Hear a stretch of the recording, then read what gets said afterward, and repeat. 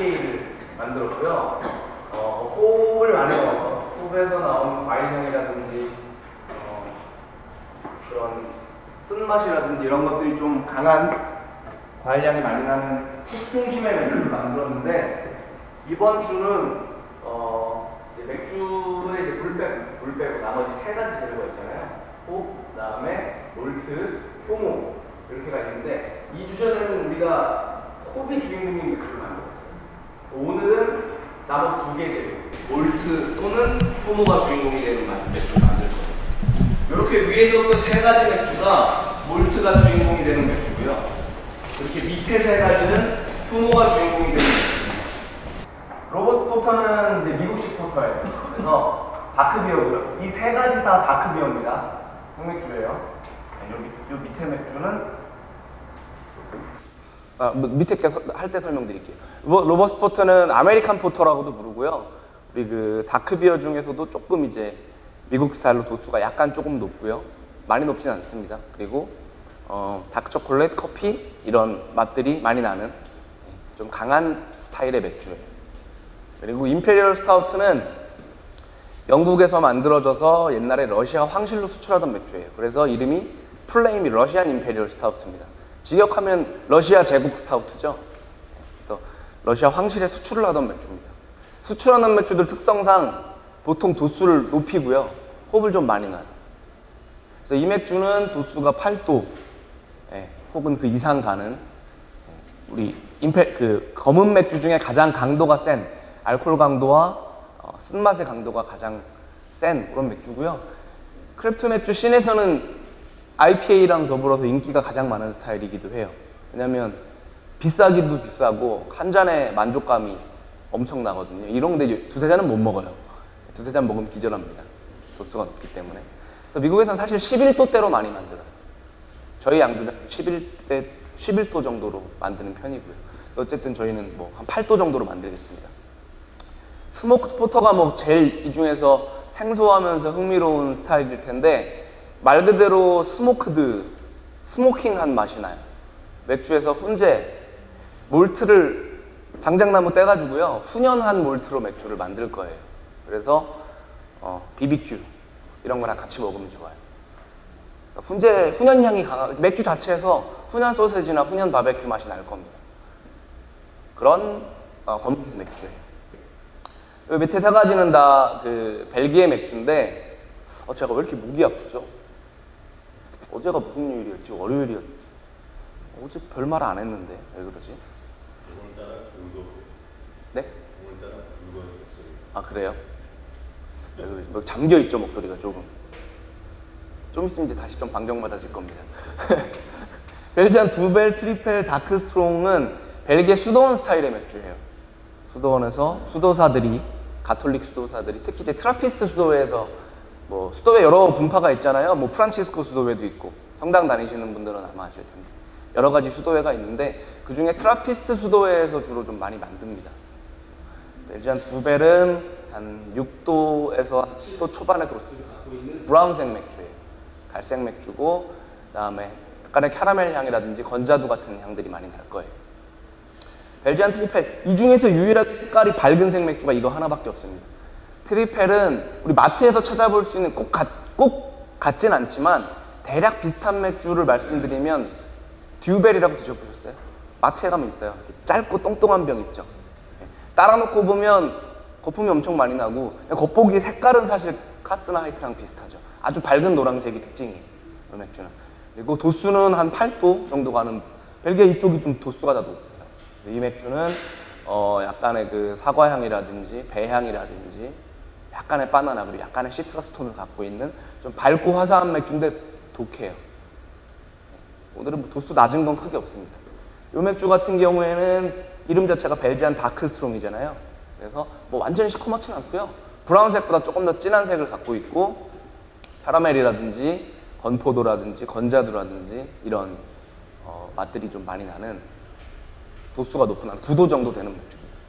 이 중에서는 도수가 아마 이게 제일 높을 거예요. 그런 맥주. 벨기에를 대표하는 세 가지 스타일이고요.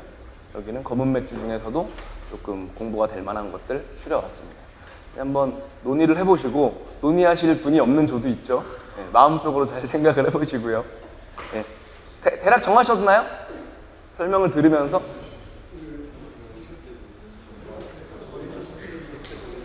사실 맥주가 자- 전체적으로 다 괜찮은 맥주들이고요. 괜찮은 맥주들이고 벨기에 맥주 쪽은 조금 약간 그 약간 고급스러운 느낌도 나고요. 그다음에 위쪽에 세 가지 검은 맥주들은 딱 한 잔 먹었을 때 되게 rich해요 맛이 풍부하고 아이 내가 수제 맥주 배우기 잘했다 이런 맛이 약간 날 건데 이제 Smoked Porter 같은 경우에는 호불호가 있을 수 있어요. 맥주에서 훈연향이 실제로 나기 때문에. 근데 저는 개인적으로 되게 좋아합니다. 저거 바베큐랑 소세지 구워서 먹으면 엄청 맛있어요. 저거랑 같이 먹으면. 다만 우리가 일상적인 맛은 아니라는 거. 그거만 알고 계시면 되겠습니다. 근데 이왕 공부하고 이렇게 맥주 수업을 나오셨으니까 무난한 거 말고 좀 실험적인 거 해보시는 것도 좋아요. 뭐 이때 아니면 아마 평생 만들 일이 없을지도 모릅니다, 여러분들이. 왜냐면 호불호가 워낙 강하기 때문에. 그래서 수업으로 만들어 보시는 것도 나쁘지 않아요. 그 smoked 맥주 같은 경우에는 그 독일에 독일 일부 지방에 Rauchbier라는 게 있어요. 오늘 만드는 게 뭐 Rauch는 아니지만 Rauchbier라고 해서 그 동네는 다 그 맥주만 팔아요. 훈연된 맥주만. 예, 슐렌케를라라는 브랜드가 가장 대표적인 브랜드인데 그 동네 사람들은 뭐 다 훈연 맥주 먹으면서 소세지 먹고 Haxen 먹고 막 양배추 Sauerkraut 있잖아요. 그거 양배추 김치 같은 거 그거 먹고 뭐 그 동네는 동네 하나가 다 그거 먹는 동네가 있어요. 밤베르크 지방입니다. 밤베르크. 자 위에서부터 정할게요. 요거 요거 하고 싶으신 좀 Robust Porter 없으세요? 이 가위바위보 경쟁은 정말 이 가슴이 아프죠. 없으세요? 이거, 마- 이거 맛있는데? 이거 이거 진짜 인기 많은 스타일이에요. 자, 다음 Imperial Stout. 네, 1, 2조 가위바위보 해주세요. 2조. 자, Smoked Porter. 가위바위보 해주세요. 1조, 5조.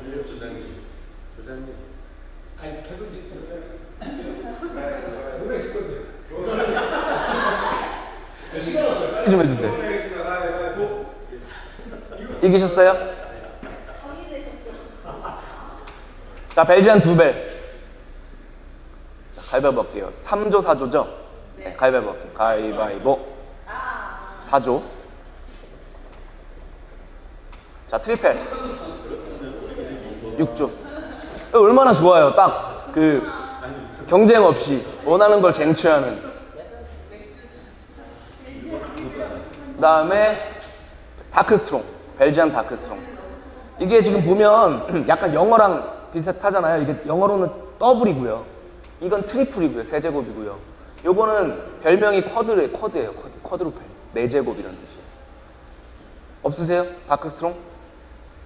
이- 이거 굉장히 인기 많은 스타일인데. 부담스러우시구나. 약간 색깔이 검고 도수가 있다고 하니까. 그러나 어쩔 수 없이 해야, 되, 해야 됩니다. 자, 다시 돌아올게요. 이거 3조요.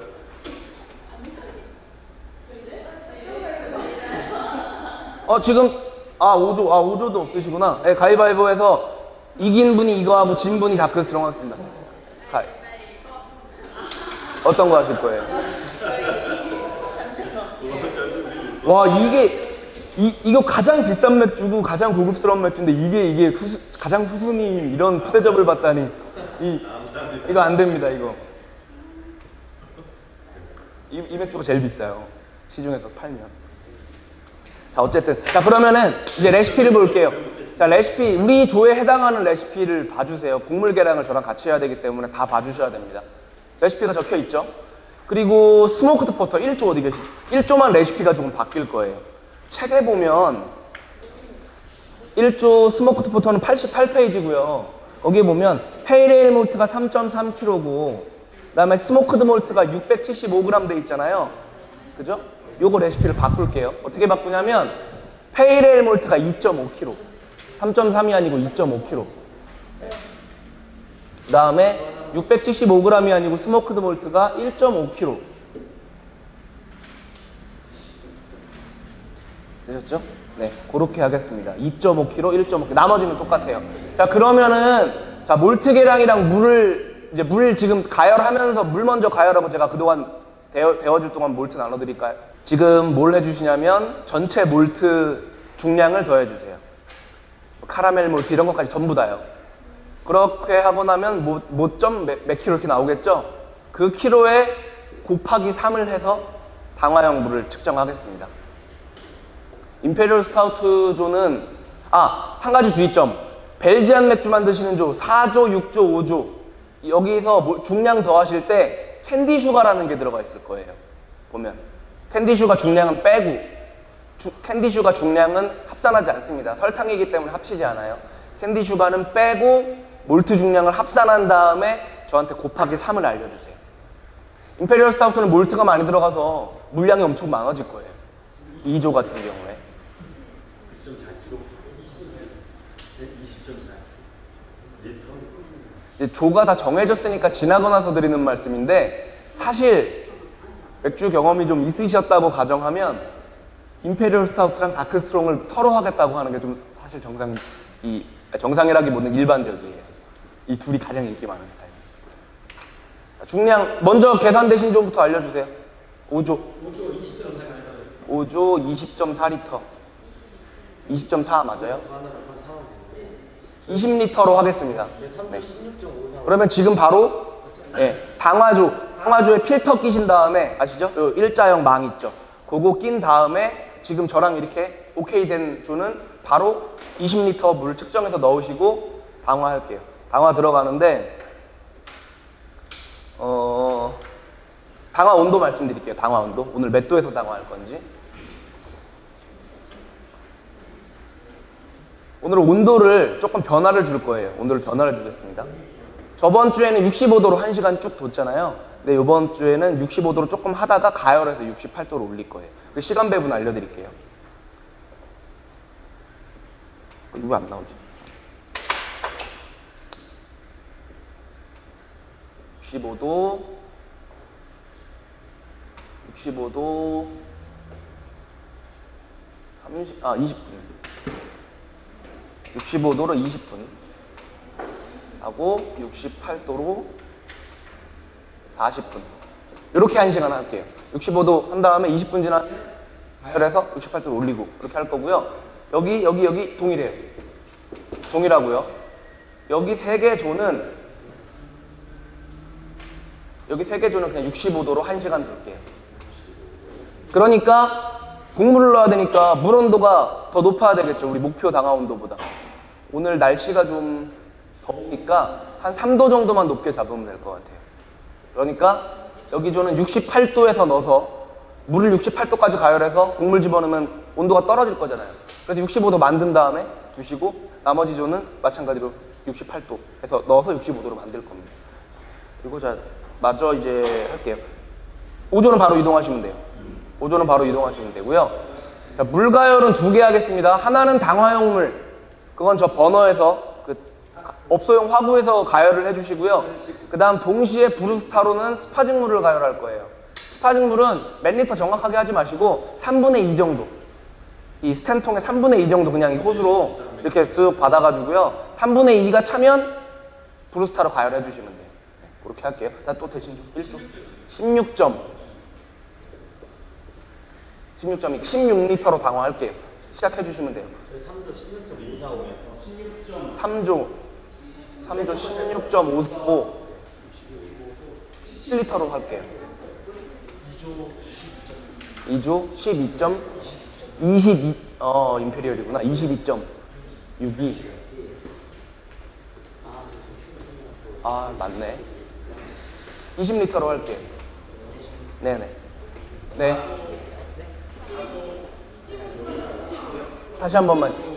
15.675, 16리터로 할게요. 4조만 저한테 말씀을 아직 안 해주셨는데 14점 아 15리터로 하겠습니다 네, 네.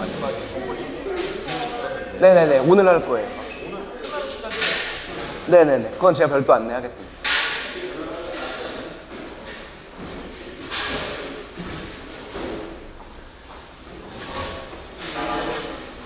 아 이제 더, 더위와의 싸움입니다. 물 다 올리신 조는 저한테 몰트 받으러 오시면 돼요. 발효조 들고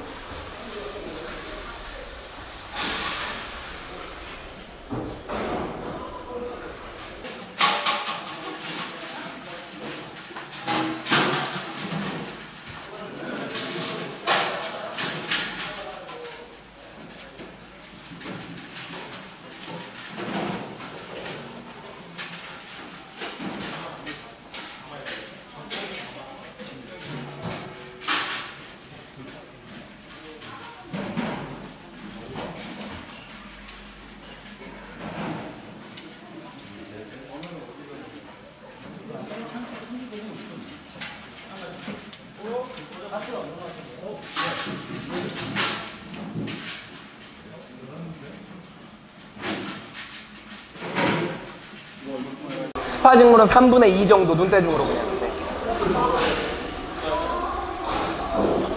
네, 네, 그 정도면 될 것 같아요.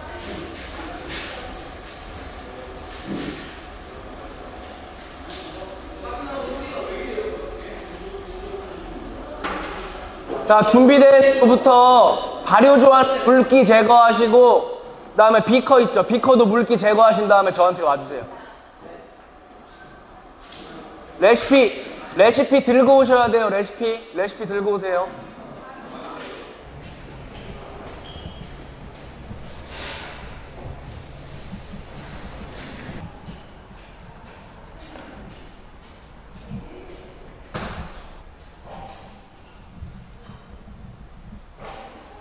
맥주가 뭐죠? 다크스트롱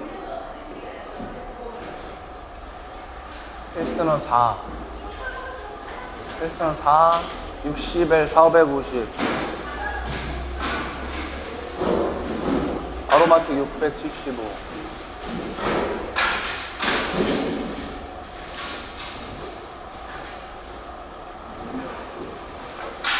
발효조 어디 있어요 발효조 빈 발효조에다 몰트 담을 거예요. 발효조 갖고 오셔야 돼요.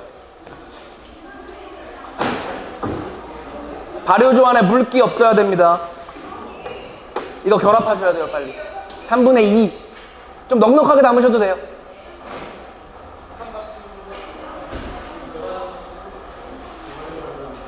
저 선생님한테 여쭤보세요. 빨리 갖고 오셨어요? 몇 조죠? 1조요. 네.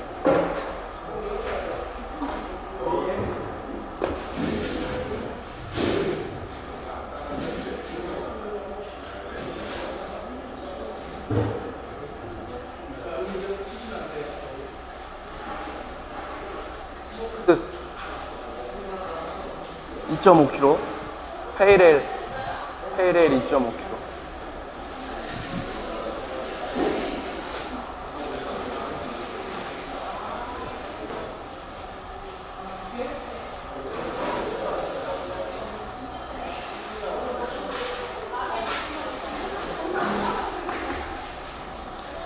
pale ale 2.5kg.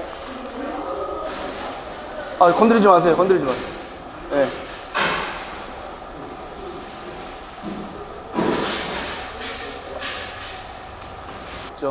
죠 그리고 smoked malt가 1.5kg죠.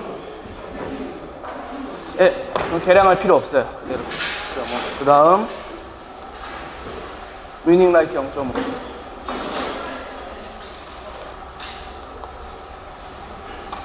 (500g이니까) (3kg까지) 오케이 (3kg까지)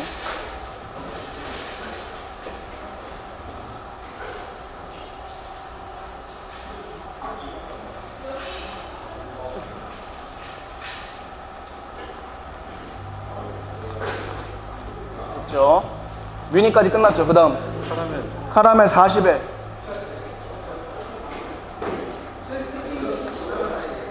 카라멜 40에. 여기 조가 smoked porter죠? 맞죠? 450 네, 500g인데 다 넣으셔도 돼요. 계량할 필요 없어요. 그 다음. Black Prinz 225 초콜릿 225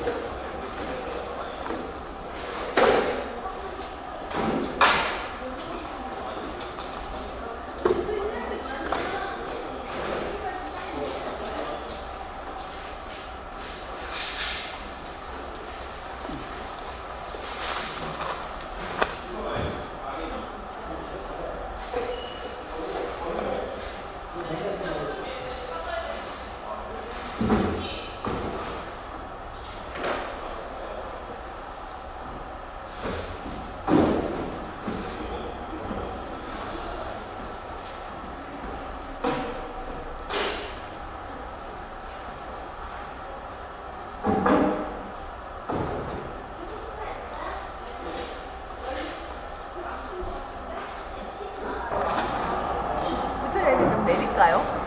네?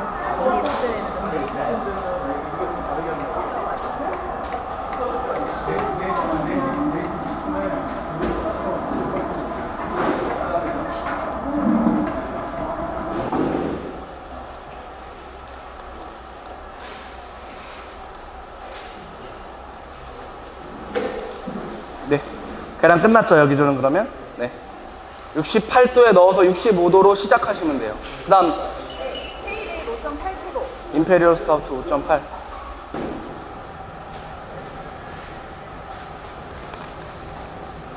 네, 5.8. 그 다음, 불러주세요. 로바 0.5. 잴 필요 없어요, 500g. 그 다음, 초콜릿. 초콜릿 450. 캔디 슈가의 경우 보일링 때 넣을 거니까 건드리지 마세요. 위닝 라이트 1kg.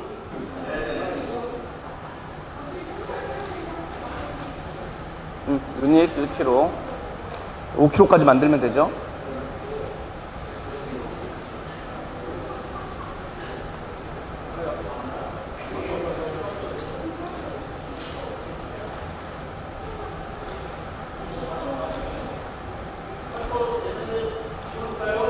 (68도) 되셨어요? 네, 집어 넣고 불 없이 잘 푼 다음에 (65도가) 된 시점부터 1시간이에요.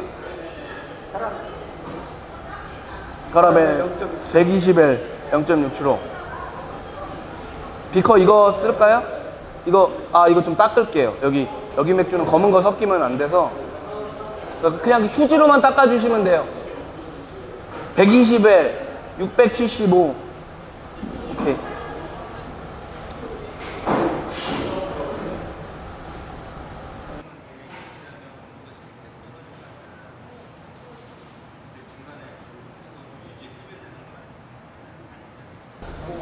깊게 꽂으셔야 돼요. 온도계를 깊게 꽂아야 돼요. 깊게. 중심부에 깊게. 어, 64도에서 66도 왔다 갔다 한다고 생각하시면 돼요. 위아래로 1도. 온도가 높으면 찬물 1리터 넣으시고, 온도가 너무 낮으면 가열 빨리 하시고, 아밀라제가 활동이 빨라서 빨리 하셔야 돼요. 맥주 오세요. 3주 65도로 20분 한 다음에 온도 올려서 68도에서 40분. 1, 2, 3조는 65도에서 20분 하고 온도 올려가지고 68도에서 40분 할 거고요. 4, 5, 6조는 65도에서 1시간 둘 거예요. 65도로 20분. 네, 68도에 물에 곡물을 넣어야 식으면서 65도가 되니까. 65도 20분. 저 온도를 65도 20분 유지하고 그다음에 이제 20분 되면 불 떼서 금방 올라가요. 3도 정도는 금방 올라간단 말이에요. 불이 떼서 68도 올린 다음에 40도, 40분. 토탈 1시간은 어떻게 쓸 거냐의 문제예요. 여기는 한 온도에서 60분. 여기는 60분인데 20분, 40분 배분한 거예요.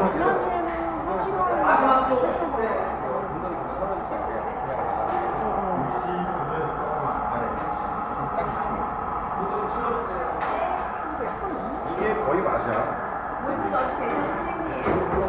물도 맞으면 물도 넣어도 되죠. 68도가 됐으면 몰트 넣고 몰트 등물이 진행되는 뭉친 거 다 푼 다음에 65도를 만드는 게 중요해요. 이거 만들고 기다리면 되나? 위에서 이제 생각보다 빨리 안 돼. 아 얘랑 바꿔요. 여기 피부 올 때까지 계속 올라간다.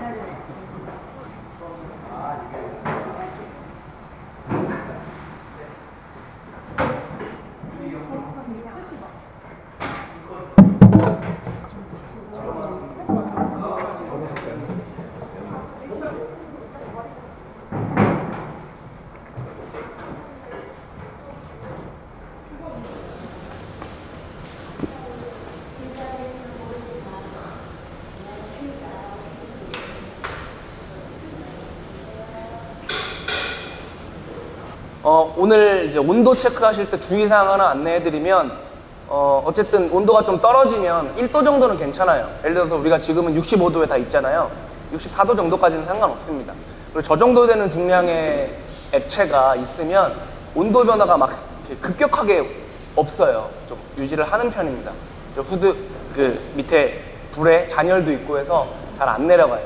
그래서 어쨌든 가열을 해야 될 경우에는 우리 지금 보면 큰 불이 있고 작은 불이 있죠. 저 불이 지금 너무 세요. 그래서 큰 불 양쪽을 다 당기면 금방 훅 올라갑니다. 그래서 온도 조절은 가운데 작은 불만 켜고 하실게요. 오늘 항상 하시고 어, 1, 2, 3조는 65도에서 20분 뒀다가 68도까지 올릴 때도 작은 불로 올리시고 예, 40분 하시는 거 잊지 마시고요. 이렇게만 해주시면 되겠습니다. 그리고 온도 체크는 10분에 한 번씩 하겠습니다. 제가 얘기를 하더라도 조원필이 돌아가면서 육전은 혼자 혼자 10분마다 한 번씩 가셔서 저어주고 저어주실 때는 위아래도 교반해 주시는 거예요. 위아래도 교반해서 온도 체크 꽂아보고 조치해야 될 일 있으면 불을 피든 물을 타서 떨어뜨리든 예, 하셔야 돼요. 제가 일단 여기다가 양조 순서를 적을 테니까 저번 주에 했던 거를 잘 머릿속으로 상기 한번 해보세요. 순서대로 쭉 적을 거예요. 한 번 해보셨으니까 오늘 이제 더군다나 2주가 지났기 때문에 이렇게 새로운 마음으로 시작하시는 것 같잖아요. 제가 쭉 적어드릴 거예요. 자, 강화한 다음에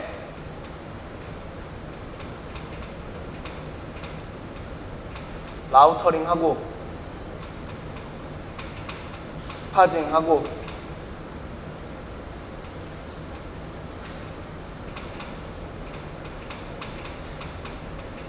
(26리터의) wort를 모으고 우리는 (20리터를) 만들 거니까요 모으고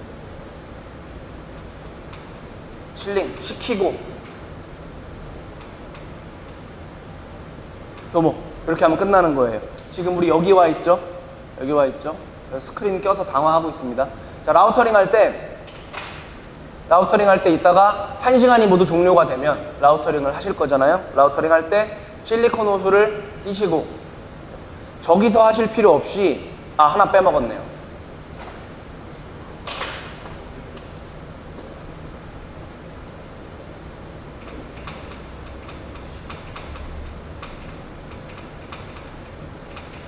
메시아웃 아 너무 흐리다.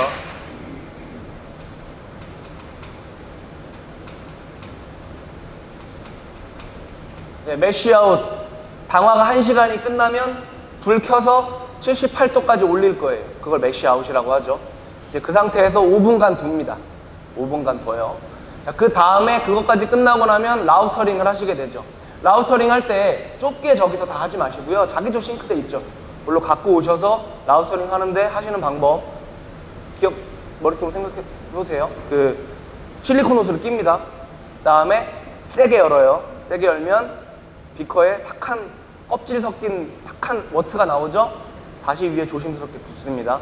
요거를 반복하면 되는데 뭐 횟수는 저도 모르겠어요. 대략 한 10번 정도 하면 맑아지는 것 같긴 한데 아무리 해도 맑아지지 않아요. 그러니까 200번 한다 그래서 투명하게 되지는 않기 때문에 건데기가 없는 정도로 해주시면 돼요. 그래서 혹시 뭐 불안하시면 저한테 확인을 받으시면 됩니다. 그렇게 한 다음에 이제 깨끗해졌으면 확 열어서 발효조에 받아야 되죠. 발효조에.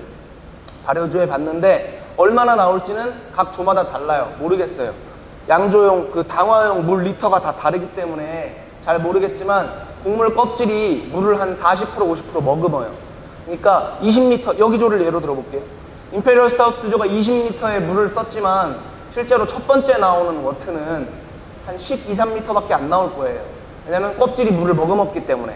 자 그러면 자, sparging 할 때 물량을 잡으시는 게 중요한데 자, 첫 번째 이제 lautering 끝나서 맥즙이 깨끗해졌어요. 이제 발효조에 쭉 받았죠.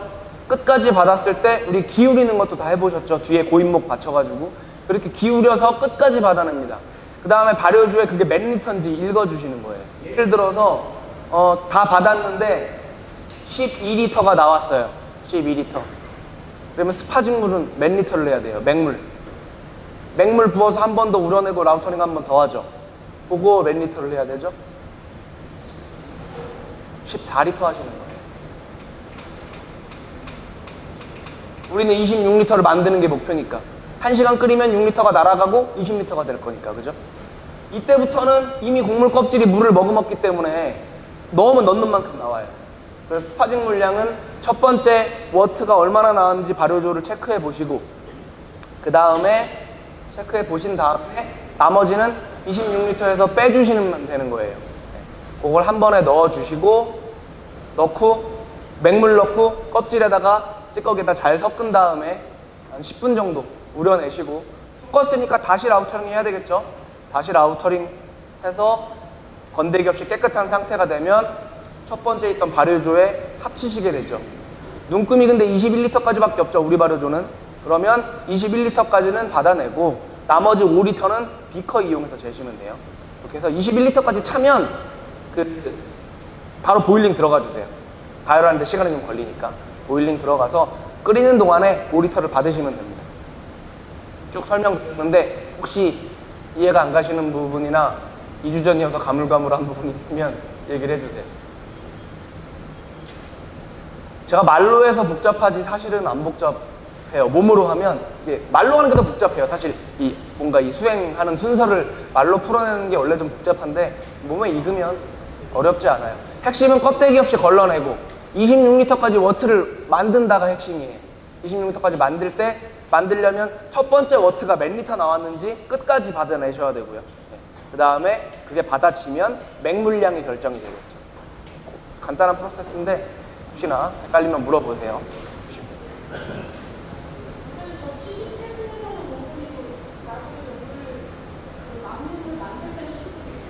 어, 사실 시간도 그 딱 정해져 있는 그런 시간은 없는데 예, 목적에 따라서 메시아웃은 그냥 75, 78도까지 그냥 만들어만 주면 되는 온도여서 그렇게 중요하지가 않고 중요한 건 이제 맹물 넣은 다음에 찌꺼기 섞은 다음에 그때는 이제 껍질에 있는 당을 나머지 뽑아내야 되잖아요.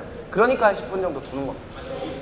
그리고 당화 시간이 오늘 왜 달라졌나요? 라고 물어보시는 분들이 있어서 저번 주에 했던 이론 부분을 한 번만 다시 할게요. 중요한 부분만 하겠습니다. 순서는 지금 이렇게 되고 있고 우리는 지금 여기 2단계에 와 있죠. 곡물 당화. 그 다음에 3단계는 아직 하려면 멀었습니다. 곡물 당화와 lautering 사이에는 mash out이 존재합니다. 78도까지 올리는 작업이에요. 지금 이거 하고 있는 거예요, 이거. 처음 오시는 분들은 특히 잘 들어주세요. 네. 지금 저 안에서 우리가 물을 넣었지만 보리 안에 있는 전분질이 몰트 안에 있는 전분질이 어, 당화가 되고 있어요. 식혜처럼 변하고 있어요. 먹어보면 식혜 맛이랑 거의 똑같습니다. 아 검은 목 검은 맥주 만드는 조는 시커먼 식혜 맛이 나겠네. 탄 식혜 맛. 어쨌든 설탕물로 지금 바뀌고 있어요. 저 안에서. 이 중에서 다른 건 다 보실 필요 없고 빨간 거친 두 개만 보시면 돼요. 베탄지 알판지도 모르셔도 돼요. 아밀라제는 우리 다 알잖아요. 그죠? 우리 침 속에 있는 거. 네. 똑같진 않지만 비슷한 아밀라제가 몰트의 싹 안에 들어있어요. 싹 안에. 보리를 싹을 틔우면 싹 안에 효소들이 생성돼요. 그 효소를 이용해서 보리에 있는 전분을 당분으로 바꾸는 겁니다. 두 가지 종류가 있는데 낮은 온도에서 활동하는 애가 우리 당화라 하면 60도에 60도에서 70도 사이 좀 따뜻한 것보다는 좀더 뜨거운 정도의 물에 파쇄된 몰트를 집어 넣은 걸 당화라고 해요. 60에서 70도 사이에 들어가게 되면 파쇄된 몰트가 들어가면 어쨌든 저쨌든 온도와 상관없이 설탕물로 변하긴 변합니다. 근데 그 설탕물의 성질이 달라져요. 온도에 따라서. 65도를 기점으로 해서 좀 낮은 온도 구간에서 당화를 하게 되면 베타밀라제라는 녀석이 활성화돼서 전분을 메가당으로 분해합니다. 이게 무슨 얘기냐면 그림은 안 그리려 그랬는데 처음 오신 분이 있어서 그림까지 그릴게요. 우리가 탄수화물 전분이라고 하는 녀석들은 포도당의 집합체예요. 포도당의 집합체. 이렇게 생겼어요. 확대해 보면.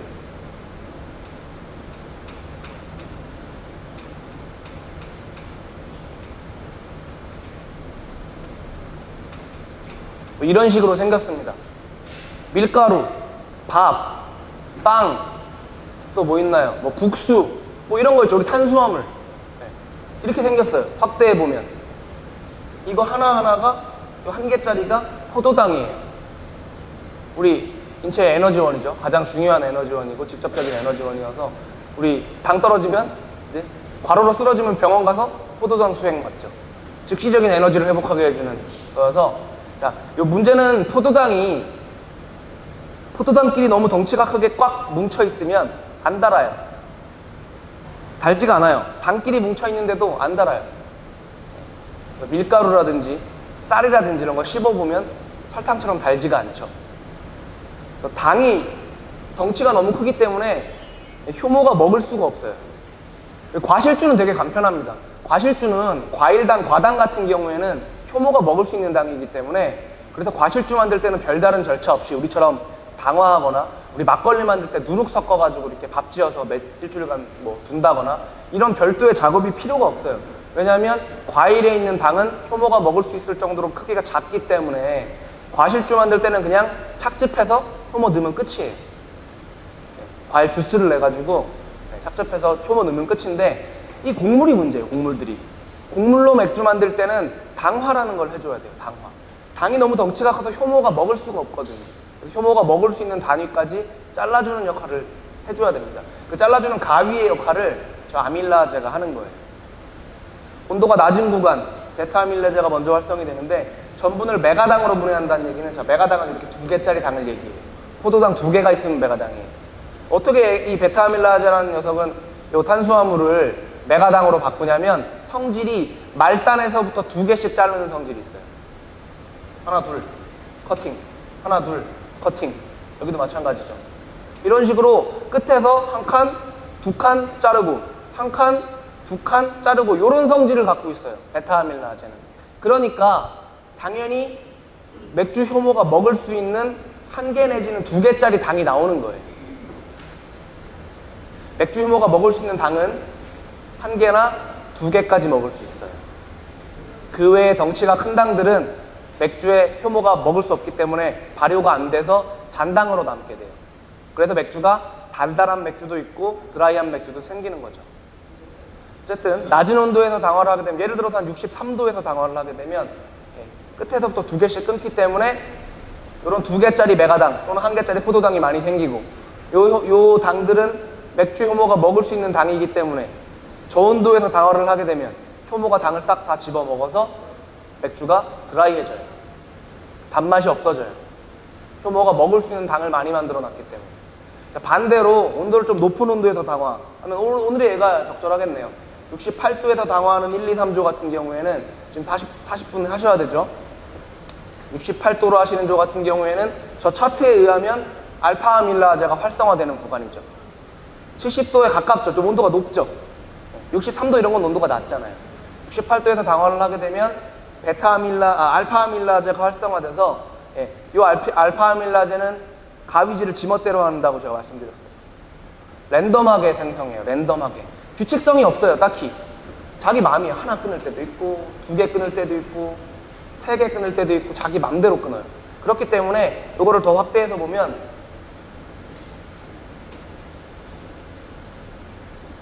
이런 식으로 발효당과 비발효당이 랜덤하게 생성이 돼요. 이렇게 생성이 되면 자, 얘는 효모가 먹을 수 있죠?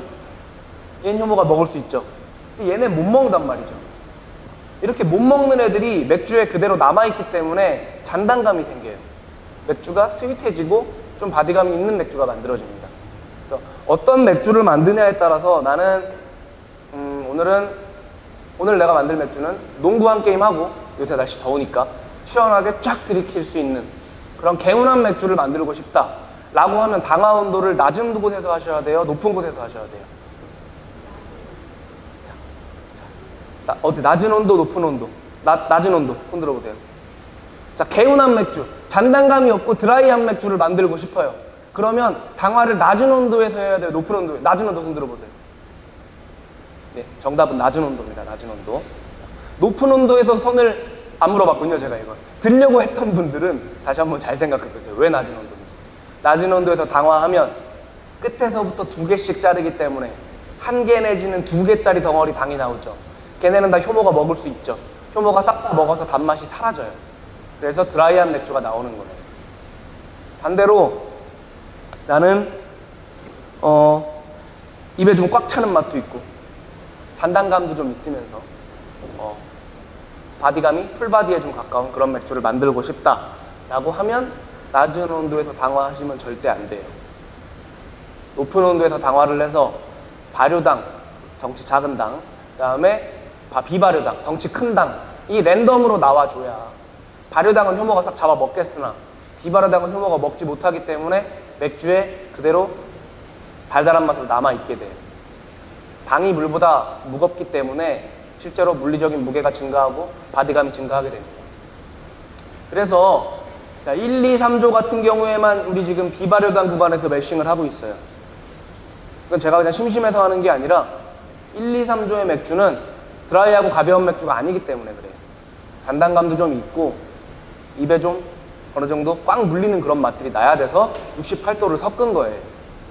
4, 5, 6조 같은 경우에는 1, 2, 3조의 맥주에 비해서 이 벨기에 맥주들은 그렇게 막 달거나 바디감이 높거나 그런 맥주들이 아니기 때문에 발효당이 좀 많이 나올 수 있는 구간에서 당화를 하고 있는 겁니다. 똑같은 레시피여도 63도에서 당화를 한번 해보고 그 다음에 그 다음 주에 맥주를 또 만드는데 똑같은 레시피로 69도에서 당화를 해보면 FG가 달라져요. FG 종료 비중이 달라져요. 대략 그냥 제가 예를 들어드리면 똑같은 맥주를 가지고 똑같은 재료를 가지고 똑같이 맥주를 만들었는데 어, 예를 들어서 이번 주에는 오지는 똑같이 나오겠죠. 뭐 1.070이 나왔어요. 그리고 당화 63도에서 했어요. 다음 주에는 똑같이 했으니까 당연히 69도에서 했어요, 당화를. 종료 비중, 아, 초기 비중 당연히 똑같이 나오겠죠. 내가 별다른 실수가 몰트 양이 똑같으니까. 자, 일주일 뒤에 발효를 시켜보면 예예요. 꼭 그렇진 않습니다. 63도에서 발효한 친구는 1.012까지 내려가는 데 반면에 69도 높은 온도에서 당화하는 FG가 1.018 뭐 이렇게 될 가능성이 커요. 여기서 더 안 떨어져요. 왜냐면 비발효, 비발효당이 많기 때문에 더 이상 발효가 안 되는 거예요. 그래서 도수가 둘이 달라지겠죠. 그리고 도수만 달라지는 게 아니라 맥주를 먹어보게 되면 이게 더, 이 맥주가 당연히 더 달겠죠. 그리고 바디감도 더 높겠죠. 네. 똑같은 맥주로 똑같은 레시피를 만들어 레시피로 맥주를 만들어도 당화 온도를 낮게 잡느냐 높게 잡느냐에 따라서 맥주의 성질이 많이 달라져요. 그래서 낮은 온도, 높은 온도 이렇게 알고 계시면 사실 저번 주 이론은 다 들으신 거예요. 설명은 길게 했지만 별로 어렵지 않죠. 낮은 온도 구간은 발효당, 구- 발효당 생성 구간. 높은 온도 구간은 발효당이랑 비발효당이 랜덤하게 나오는 구간.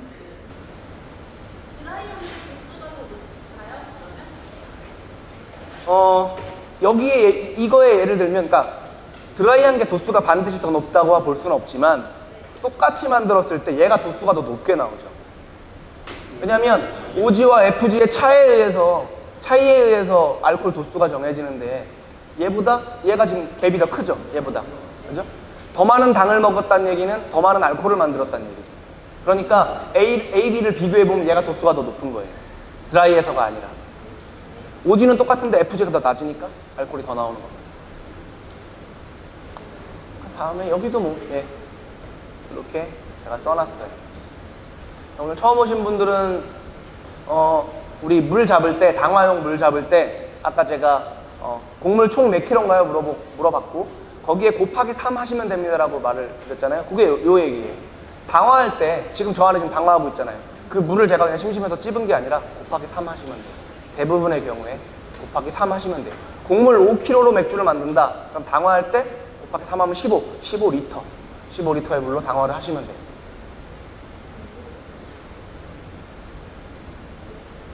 lautering을 하고요. 걸러내고 다시 붓는 게 recirculation. 다시 붓는 거 recirculation. 다시 lautering하고 다시 붓는 거 recirculation. 해서 다 괜찮아졌으면 맥즙 회수. 했으면 찌꺼기 남아있기 때문에 우리가 보약 먹을 때 맹물로 한번 그릇에 있는 거 헹궈 먹듯이 보리 찌꺼기에 남아있는 당분, 잔여 당분 회수하기 위해서 넣는 뜨거운 맹물이 sparge 되는 거예요. 여러 가지 당화조 형태입니다. 우리가 쓰는 형태가 지금 이 바주카 스크린 형태예요. 일자 형망. 가장 제일 많이 쓰는 형태 중에 하나입니다. 이런 건 굳이 우리나라에 없어요. 근데 상업양조는 다 이 방식으로 씁니다. 상업양조는 다 이 방식으로 써요. 여기에 찌꺼기가 쌓이고 이 필터 밑에 호수가 있기 때문에 맑은 애들만 밑으로 나와요. 상업양조는 거의 이 구조로 써요. 미국, 미국에 있는 홈브로들이 많이 개조해서 씁니다, 아이스박스.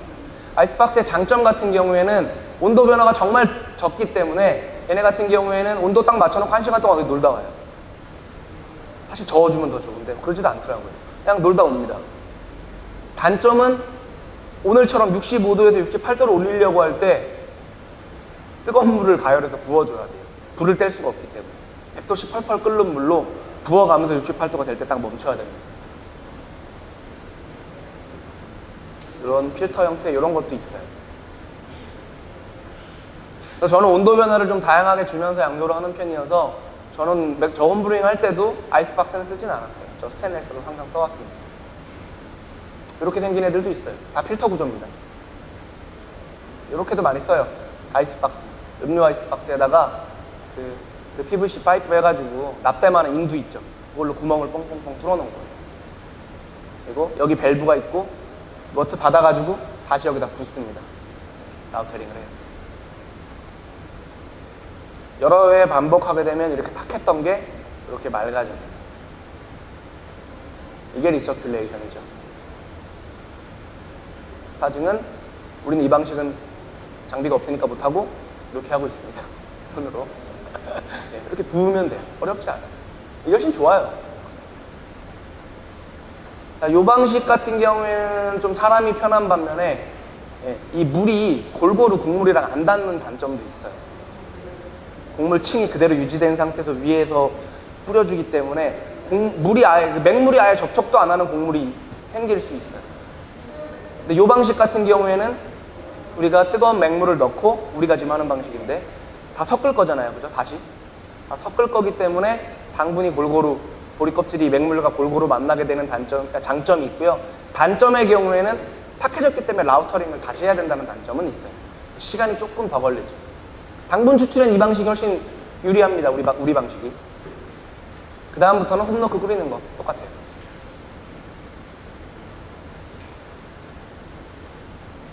그 이유는 우리가 항상 해왔던 거랑 같습니다. 네. 자, 혹시 질문 있으신가요? 네. 이미 정확히 말하면 이미 몰트의 싹 안에 있는 아밀라제가 좋아하게끔 환경 조성을 해주는 거예요. 온도로. 60도에서 70도 사이에서 아밀라제가 그 온도를 좋아해요. 그때 막 이제 탄수화물을 분해를 하기 시작해요. 당으로. 근데 그 아밀라제는 두 종류가 있다는 점은 말씀드립니다.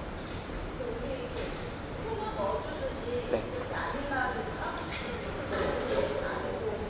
음, 효소를 넣기도 해요.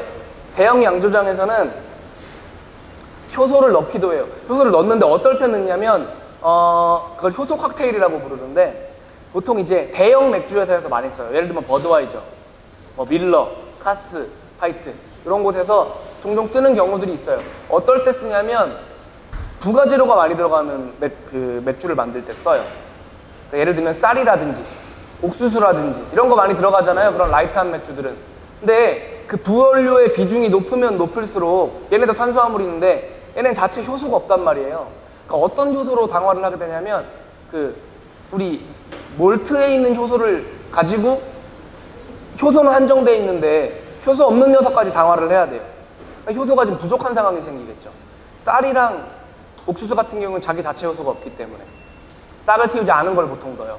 그렇기 때문에 몰트 안에 있는 아밀라제를 가지고 해야 되는데 그게 쌀과 부원료 비중이 높으면 높을수록 효소가 딸려요.